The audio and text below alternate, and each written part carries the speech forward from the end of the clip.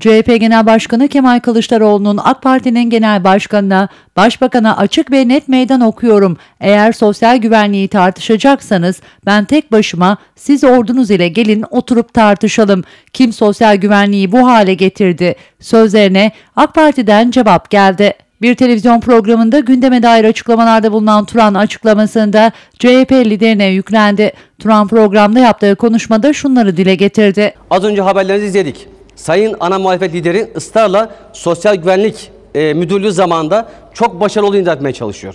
Ve utanmadan, sıkılmadan Cumhurbaşkanımıza gelsin tartışalım diyor. Bakın sizle biz telefonla konuştuk.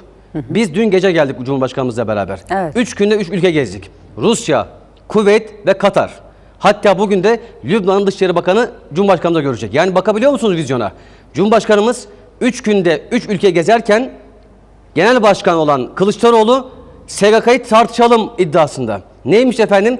90'lı yıllardaki SGK mı daha başarılıymış, bugünkü mü daha başarılıymış?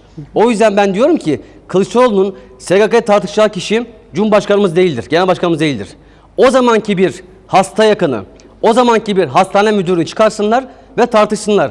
90'lı yıllardaki Sosyal Güvenlik Kurumu daha başarılıydı, bugünkü mü daha başarılı? O zamanki eczane kuyrukları, ilaç kuyrukları, hastanelerin farklı kurumlardan yönetilmesi mi daha kıymetliydi? Bugünkü modern hastaneler, her türlü ilaca ulaşma imkanı, her türlü doktorun bıçak parası vermeksizin kamuoyuna hizmet etmesi daha kıymetli. O yüzden bir daha diyorum. Biz 3 günde 3 ülkeye gezerken, Türkiye'yi açarken, ekonomimizi, demokrasimizi, ticaretimizi, ihracatımızı arttırma gündemini ortaya koyarken malum genel başkan sadece sosyal güvenlik e, genel müdürlüğü zamandaki yaptığı sözüm ona başarılı gündem yapıyor. O yüzden Türkiye bir şeye karar verecek. Ya milli bir duruşla beraber, milli güçleriyle beraber Türkiye'nin büyümesini mi talep edecek yoksa 70'li yıllarda, 90'lı yıllarda olduğu gibi koalisyon tarzı, kavgaların öne çıktığı, polemiklerin önde olduğu, yatırımların durduğu, ekonomi bozulduğu yıllardaki vizyondan ortaya koyacak. Kavga Türkiye'de bu. O yüzden biz diyoruz ki ekonominin büyümesi, ihracatın artması, demokrasimizin kalıcı hale gelmesi için bir daha bu ülkede darbe girişimlerinin, 15 Temmuz girişimlerinin olmaması için güçlü bir yönetimle beraber Cumhurbaşkanlığı hükümet sistemine geçtik.